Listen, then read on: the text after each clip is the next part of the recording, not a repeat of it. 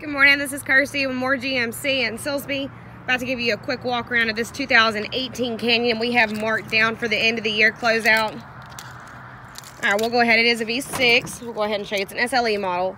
Um, the tailgate does, you know, you pull it, it doesn't just flop down. It just, you know, eases down. All right, you do have a keyless entry. You've got remote start. Go ahead and start this truck on up for you and we'll go ahead and unlock it and get in and show you some of the features of it.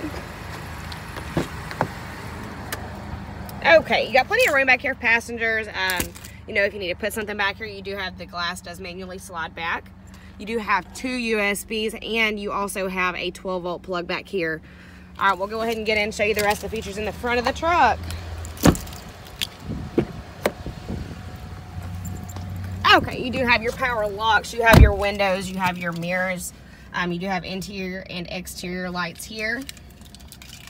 Go ahead and start it on up the rest of the way for us. Oh, it's a little chilly outside today. All right, we do have your gauges, um, you know, in your in-dash monitor here. Then you also have your touchscreen radio, radio controls, and you have your air controls. Uh, you have your cab light traction control and your towing slash hauling. You do have auxiliary USB and 12 volt plugs down here. Got your gear shifter, your cup holders.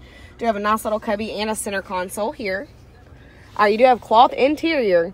Uh, this is a great truck. Come on down to Moore in Silsbee. Uh, let, let's get you into this canyon today and, um, you know, get you off the lot in it. Bye.